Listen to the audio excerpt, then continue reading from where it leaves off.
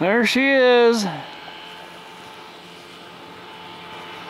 better move so I don't get run over.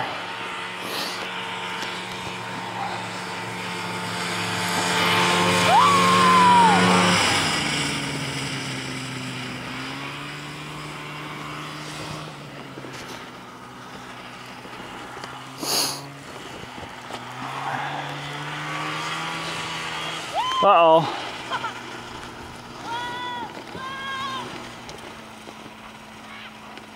uh,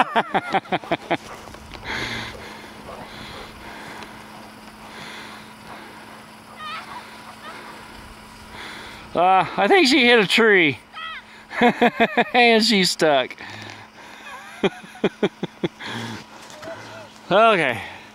Back over for another rescue.